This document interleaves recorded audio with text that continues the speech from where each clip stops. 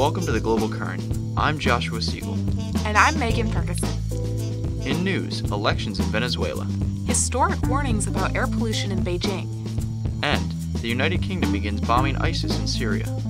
In analysis, the United Kingdom's referendum on remaining in the EU. And Finland's revolutionary basic income program. Then, the Global Current brings you an interview with Vincent Medina on the evolution of terrorism and the world's response. Thanks for tuning in and enjoy the show.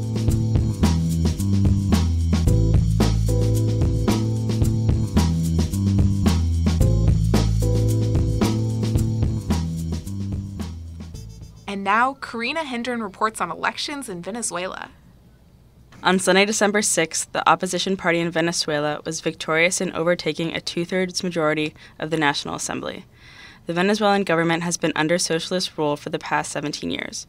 According to The Guardian, the vote occurred in the midst of an economic crisis in Venezuela, which is being caused by declining oil prices.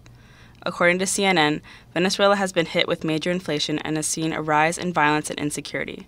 According to a Pew Research poll, 85% of Venezuelans are unhappy with the direction of their country.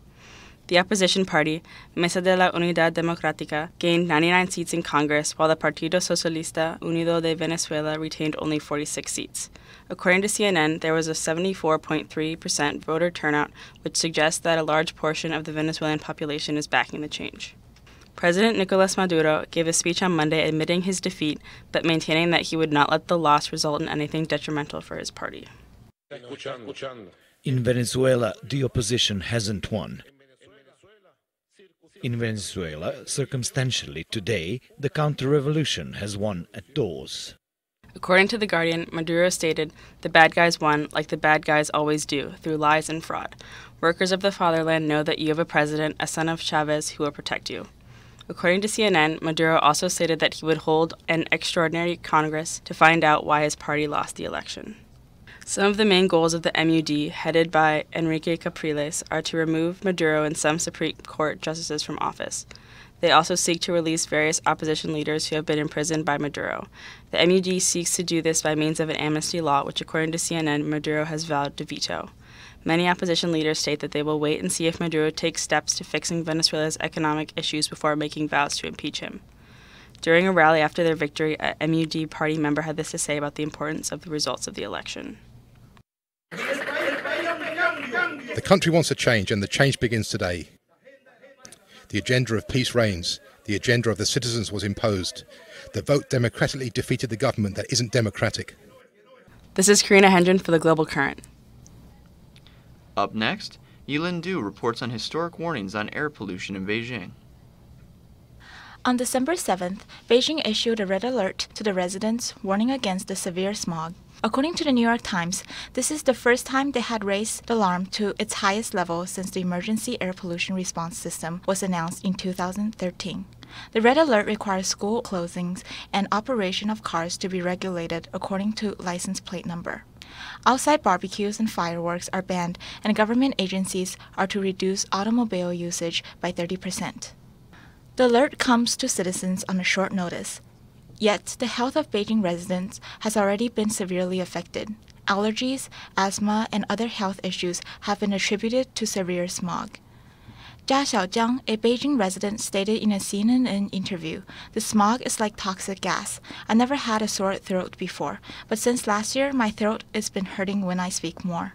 The New York Times gave an update to the smog issue in Beijing on December 8th. According to the article, by 4 p.m., walking the dim street was like scrolling through a coal mine. The Municipal Air Quality Index read 308, rated hazardous by United States standards, a level at which people should not set foot outdoors. Most of the smog comes from the industrial burning of coal in northern China. Beijing's mayor Wang Anshun has made a post on Beijing's government's official online news portal asking for the support and understanding of residents. It is a critical time in Beijing that requires all residents to work together to fight air pollution. This is Elaine Du from the Global Current. Next, this morning, Liam Skolins reports on the United Kingdom's recent decision to bomb ISIS in Syria. On December 2nd, the United Kingdom's House of Commons voted to begin a coordinated bombing campaign against the Islamic State. According to The Guardian, Prime Minister David Cameron, who supports the bombing, had the support of his own Conservative Party as well as a sizable proportion of the Labour Party opposition. The vote carried by a majority of 174 votes, with 397 for and 223 against. Labour Party leader Jeremy Corbyn vehemently opposes the military effort. Following the vote, 10 British RAF planes from bases in Cyprus attacked several targets in IS controlled oil fields. A separate Guardian article states that members of Parliament justified their vote by citing UN Security Council Resolution 2249, which urges UN member states to redouble and coordinate their efforts to prevent and suppress terrorist acts committed specifically by IS.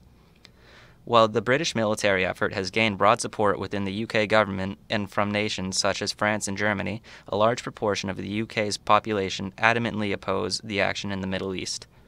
In a speech given to Parliament, MP Hilary Benn voiced his support for the bombing plan and placed his faith in the Vienna peace talks, which have been underway since the end of October. We are part of a coalition of over 60 countries, standing together shoulder to shoulder to oppose their ideology and their brutality. Now, Mr. Speaker, all of us understand the importance of bringing an end to the Syrian civil war, and there is now some progress on a peace plan because of the Vienna talks. They are the best hope we have of achieving a ceasefire. Now, that would bring an end to Assad's bombing. A report by The Independent details the Veterans for Peace organization, which decries the government's actions. Across the country, veterans have thrown away their war medals in protest of another engagement in the Middle East. The head of Veterans for Peace, Ben Griffin, contends that IS grew because of the violence committed by Western forces during the Iraq War. Labour Party leader Jeremy Corbyn also supports this claim and condemns the current military intervention. The Independent also reported that the public is torn over whether or not to support the government's escalation of the conflict. Some citizens are weary of entering another protracted Middle Eastern conflict. This is Liam Scollins reporting for the Global Current. Coming up next, Bill Golbush shares Troy Travato's analysis of the United Kingdom's referendum on remaining in the EU. The United Kingdom is a peculiar state. It is not a federal system like the US or Brazil, where states share sovereignty with the central government. It is a unitary state, much like Italy or France. Sovereignty lies fully with the Parliament at Westminster. However, the United Kingdom is not really a country at all. Within its borders, there are four constituent countries England, Scotland, Wales, and Northern Ireland. Each country, except England, has a local national assembly as part of a greater push for devolved national powers in the late 20th century. However, London may dissolve these bodies at its pleasure if it deems fit. The United Kingdom is also a member of the Greater European Union. The state reluctantly joined in 1973. Opinions of the EU are rather diverse within the United Kingdom, influencing major elections and referenda as recent as the Scottish referendum for independence in 2014. In the elections held last year, a major question was whether or not a newly independent Scotland would automatically be allowed to resume membership in the EU. This uncertainty was amplified by the fact that Scotland is the least Eurosceptic country within the United Kingdom. In fact, the only location besides Scotland that has such a positive view of Brussels is London, a city of which 37% of its population is foreign born. According to the market research firm Ipsos Mori, Scottish support for the European Union is at 65% as of early November 2015. This is drastically higher than England's 40% in a September poll conducted by YouGov. The great disparity in opinions within Britain about its place in Europe has only been increased by the current refugee and economic migrant crisis afflicting the Union member states. Prime Minister David Cameron has attempted to renegotiate British obligations to Brussels. These include protection of the single market for Britain and other non Euro countries, boosting competitiveness by setting a target for the reduction of the burden of red tape, exempting Britain from further integration efforts, and restricting EU migrants' access to benefits such as tax credits, according to the BBC. The reforms, however, do not seem to go far enough for Eurosceptics. In a recent interview, Nigel Farage, leader of the United Kingdom Independence Party and member of the European Parliament, explained how he and his party view Cameron's negotiation strategy. I mean, what we're seeing so far uh, is a renegotiation in which the Prime Minister is asking for virtually nothing. Um, he's trying to frame the debate um, around benefits for migrants when actually it's not about that. Uh, it's about sheer numbers that come. It's about change to communities. It's about wage compression for ordinary workers. So, what I'm going to be saying is we're not going to wait. While Cameron's Conservative government will dictate the framework of this referendum, the First Ministers of both the Welsh and Scottish legislatures hold similar views on its outcome. Here is what Scotland's Nicola Sturgeon had to say in an interview with Euronews. I will argue in the EU referendum that the UK should stay in because I think it's overwhelmingly in our interests. I've set out as a statement of fact that if after that referendum Scotland finds itself outside because the UK has voted that way, even though we voted to stay in, I think there would be a lot of people who would say, hold on, we don't want to be out of the European Union, we want to look again at whether we should be an independent member of the European Union. The two leaders have insisted that a vote to leave the EU would only be valid if every nation of the UK voted to do so, the so called double majority, according to The Guardian. This is clearly seen as an attempt for the local assemblies of Wales, Scotland, and Northern Ireland to further make known their presence to Parliament, further threatening English control of Westminster altogether. Reading for Troy Travado, this is Bill Golba on the Global Current. And now, Blythe Brady analyzes Finland's basic income program. In May, Finland's center right party came to power, promising to usher in a new period of political experiments, including the idea of a basic income. The Prime Minister Juha Sipilä has publicly supported the idea of a basic income and has tasked the Finnish Social Insurance Institution to prepare proposals for testing the concept, Vox.com reports. What is a basic income, and why has Finland's investigation into it garnered international attention? A basic income is a form of social security, as Prime Minister Sipilä has commented. The BBC reports that a basic income involves the payment by the government of a specified sum each month to all adult citizens, regardless of how much a citizen earns from other sources. The sum would be paid regardless of whether a citizen is employed or not, and any additional income earned by a citizen would be subject to income tax. Finland is facing 10% unemployment, with 22.7% of youth unemployed. In a country of just 5.4 million people, these unemployment rates are worrying. Furthermore, due to a quirk in Finnish law, taking a paid temporary job can cost more than remaining unemployed because a paid temporary job results in lower welfare benefits, according to the BBC.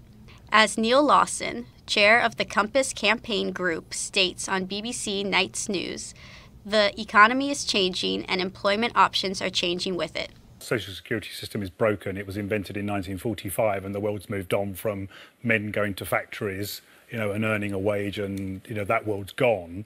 Um, but, but a new world is coming. Uh, a new world where technology is going to displace actually lots of jobs. And there's going to be a huge productivity gain from that. And unless we want food riots, then we're going to have to find a way of paying people to, to spend money in the, in the supermarkets. The proposed basic income would alleviate that issue, many in Finland hope, by remaining a steady amount even if a person takes a temporary paid job. The basic income would replace the current unemployment benefits as well as aspects of the welfare system, reports CNN Money. In fact, the Finnish Social Insurance Institution is still debating the sum which would be used in an experiment.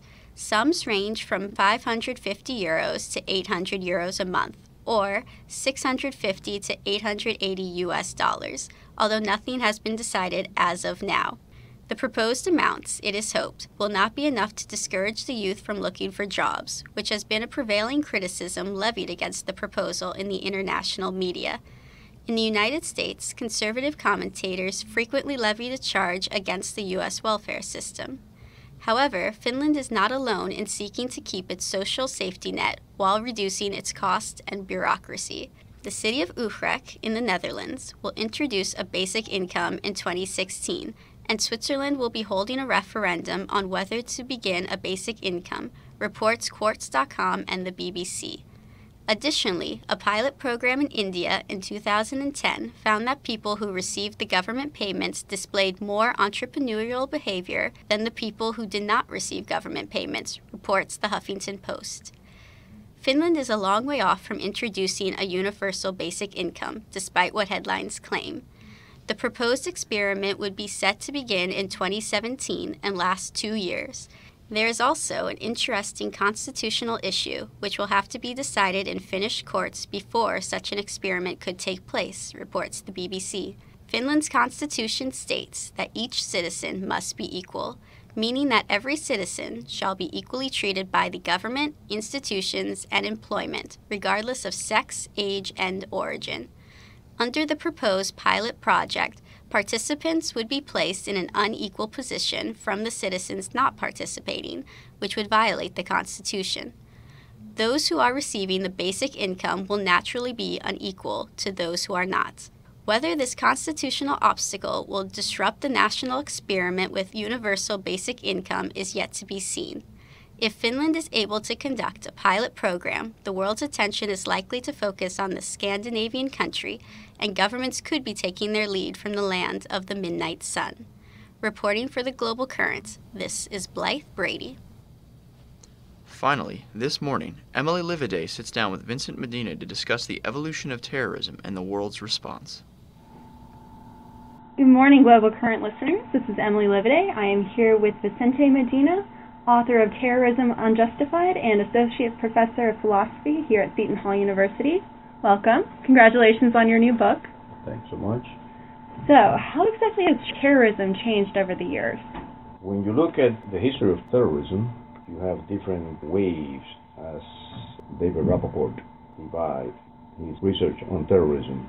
If you go back, and then you can do it in different ways, but Rapoport talks about four waves. First wave was what he described as the anarchist wave it was in the 1880s, where the terrorist a positive connotation. The term terrorist has a positive connotation back then. Then you have the anti-colonial wave from 1920s that again the whole notion of freedom fighter terrorists still has some kind of positive connotation because you were trying to expel foreign powers from different lands.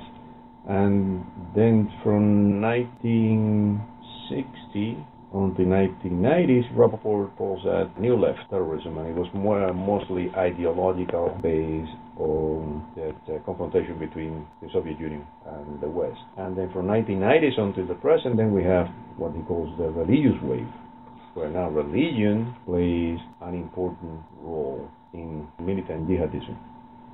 So, would you say religion is the prime reason for terrorism today, or are there other factors that are leading into it that is more important? Not only religion, religion is one among many of the factors. And then uh, Robert Pape has done a great deal of research in explaining why there are political reasons for that. So, the jihadists, the militant jihadists, are also responding to the presence of foreign troops in the Holy Land and also the fact that many countries, including the United States, also have been siding with despotic uh, regimes in the region for quite a long time, like the Saudis. And so there is a political component and there is a religious component. There is both. But I think it's quite unique nowadays that religion, and especially Islam, is playing an important role in militant jihadism. Do you know what factors have caused this new shift to religion being the reason for terrorism now, as opposed to the past? I think that is an excellent question that nobody has been able to answer, to the best of my knowledge nowadays, and we keep trying to look for answers. So certainly they're not economics. Mm. that's not the main reason. It could be one among others, but I don't think that economics is the main reason because many of these folks are middle class people who are educated and they're willing to simply give their life for for the, their cause, their version of Islam and their political movement. So I think there is there is, there is ideological components and there is a religious component, and who knows there might be something else there, perhaps an indoctrination too that they have been exposed to early on in their life, but that's very difficult to say. Hmm. How can governments prevent terrorism from happening within their own borders?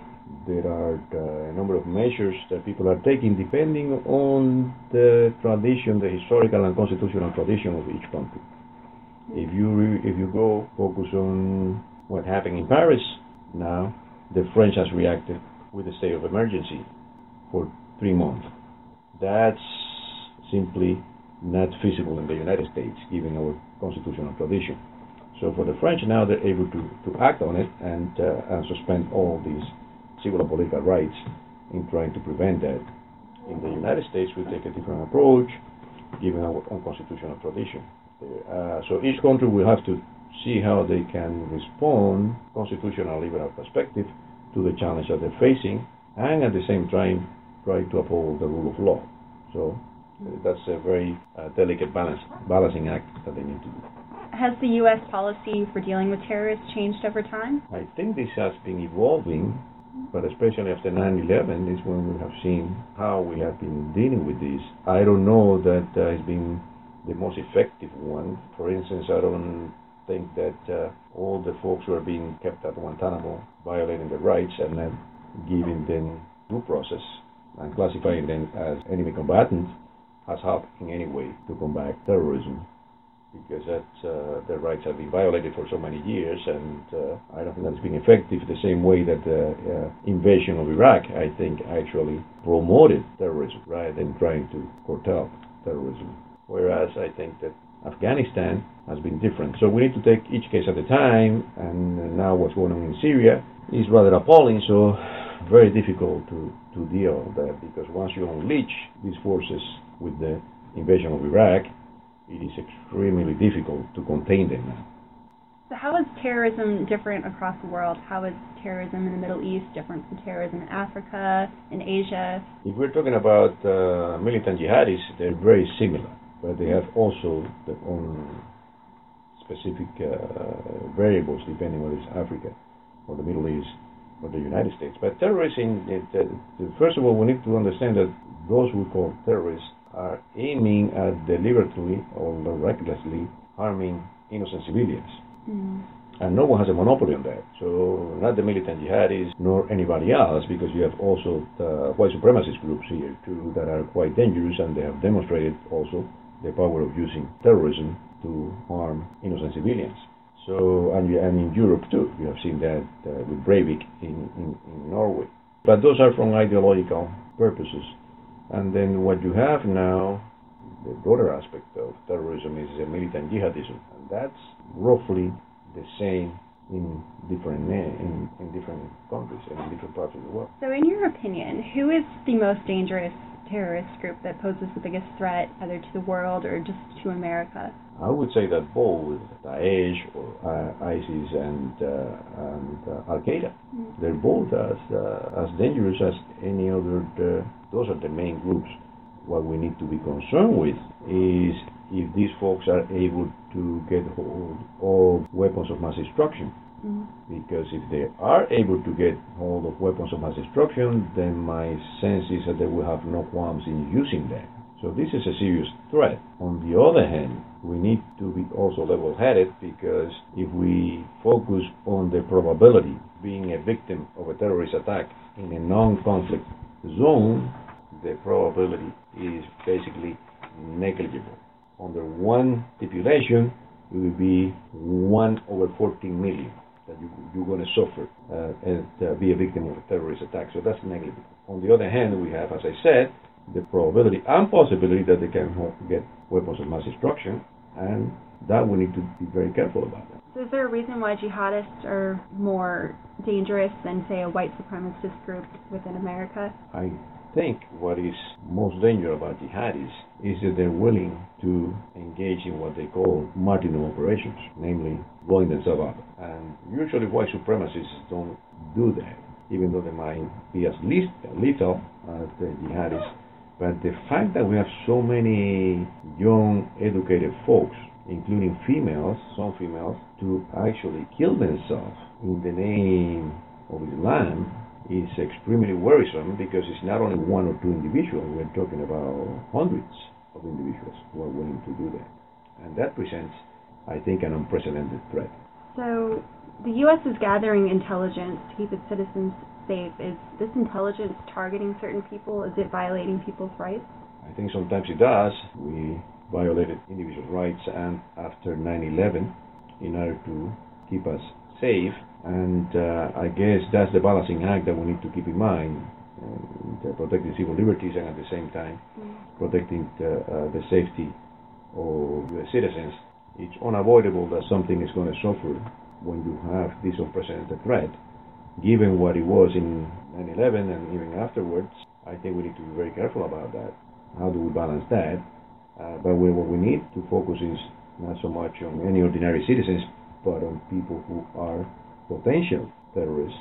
And uh, for example, now I just read this morning that Congress has agreed to revise the visa program Oh. Right, and I Mhm. think that uh, in order to vet those who are coming into the United States, so now they're going to require, at least if that version of the bill uh, passes, then uh, they will require individuals coming from Iraq or Syria to apply for a visa. They're not going to be able to come here with a 90-day stay with no visa, visa at all. And Oh. uh, from other countries too, they're having this vetting system now revamped there to make it more uh, easier, to make it easier to vet the entrance of these folks into the United States. So that's one view uh, that we have. I mean, there might be other laws that we can come up with to, to try to focus on a segment of the population that presents a risk to the safety of the United States and other countries too. I think a major problem with terrorism abroad is that it's fed into a lot of phobia here in America, especially people are fearing Muslim Americans. Is this fear justified? It doesn't seem to be that way. If you take how many, how it depends. The many cases that we have had, being a few after 9/11. That uh, 9/11 is a catastrophe, but then the, after 9/11 there have been very few cases. Still, we were uh, fortunate to prevent that. Unfortunately, we were not we were not able to prevent the one in San Bernardino, uh, but uh, we were able to uh, prevent those. And these are uh, you know, a few people who are involved with this. Uh, so to simply lump everyone together under the same rubric, what you do is just promote Islamophobia and actually incentivize more uh, terrorist threat rather than try to prevent it. My sense is that we need to be very careful and uh, respect uh, the Constitution and the rule of law, and also be aware that the threat of a terrorist attack is uh, rather minimum in the United States or in any other state for that matter, other than uh, areas where there is uh, conflict going on, like Syria or, or Iraq or Pakistan, or the places where people are, are, are more likely to die of terrorism. So, in your research, did you find any terrorist group that the media may have overlooked or Americans would be surprised to hear about? Not in this particular book, but I, I did uh, some research in, in the past. I think uh, there are some uh, white supremacist groups that I think it's important to keep an eye on these folks, and, and also the fact that now the extreme right has just won the elections in France, and they have presence also in Germany and in England too. Uh, some of these folks could evolve and become more belligerent at any given time. So we need to keep an eye on those folks too, because uh, given their Islamophobic reaction or anti-immigrant reaction, that Mhm. could present a serious danger for uh, uh, you know innocent citizens everywhere. So, how can Americans prevent terrorism and the negative stereotypes that come along with it? Uh, education. I mean, we need to educate people, people to be aware of that. For instance, very few people are aware that the probability of terrorism is almost negligible. That you are, that you can actually you are more likely to be hit by a meteorite than to be killed by a terrorist act.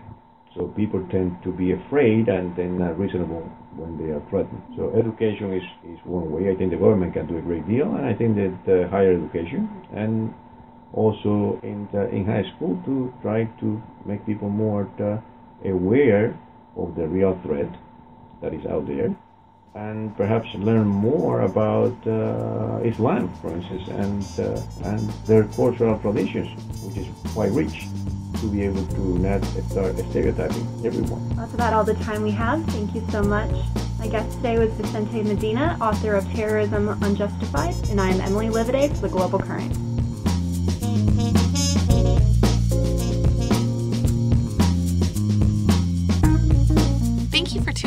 This week's episode of The Global Current. Follow us on Facebook, Twitter, and YouTube.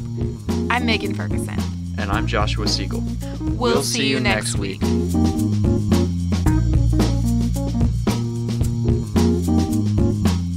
Global Current is brought to you by the School of Diplomacy and International Relations at Seton Hall University. Our executive producer is Alicia Sharabali. Our associate producer is Bill Golda. Our news editor is John Jadot, and our analysis editor is Blythe Brady. Our interview segment is produced by Emily Lividay. The Global Current theme song is Acid Jazz by Kevin MacLeod. You've been listening to The Global Current on WSOU 89.5 FM, Seton Hall's Pirate Radio.